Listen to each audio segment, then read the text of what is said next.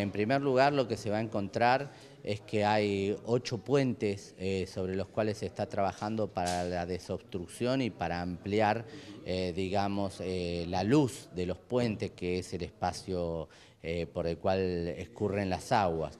Por otro lado se va a encontrar con dragalinas y equipos de retroexcavadoras, sobre todo el equipo de retroexcavadora es un equipo que directamente lo trajimos desde el puerto para acá, cero kilómetros, de primera, de, última generación, un equipo que está en condiciones de trabajar muy fuerte y que se nota eh, en términos de obra. Y por otro lado, la continuidad de esto. Nosotros lo que nos hemos propuesto en el Comité de Cuenca Hídrica que integre el Intendente con los otros intendentes de la región es que estas obras tengan continuidad. Por eso estamos próximos a eh, adjudicar un estudio integral de la cuenca, porque las soluciones parciales son simplemente de mitigación. Para poder resolver las cuestiones de fondo hay que tener un plan estructural que estudie todas las características de la cuenca, no solamente del río, sino de todos sus, eh, sus afluentes.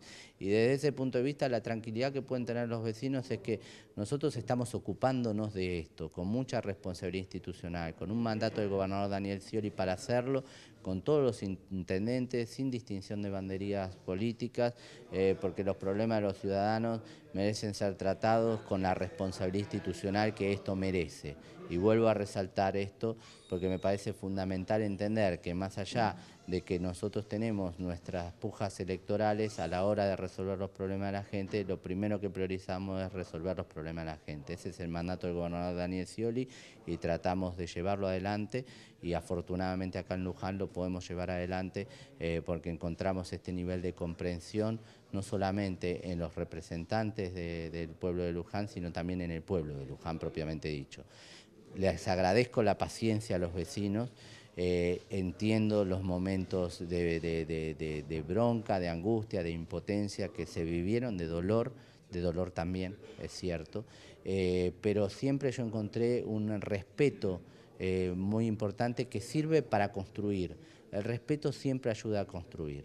y los disensos, las diferencias, las críticas son bienvenidas. Yo les decía a la gente de las distintas asociaciones vecinales con las cuales tuvimos reuniones, que quiero que sean auditores ciudadanos de las obras que se hacen, porque eh, cuantos más ojos estén mirando un trabajo, más certeza vamos a tener de que ese trabajo se haga bien. Y nosotros estamos haciendo también con la Ruta 6. Nosotros eh, en la Ruta 6 le pedimos a los intendentes, a los consejos deliberantes que observen las obras, pero también le pedimos a la Facultad de Ingeniería de la Universidad Nacional de La Plata que audite las obras desde la Facultad de Ingeniería. Le pedimos a los vecinos que se organicen y que de manera representativa nos planteen las cosas que van pasando.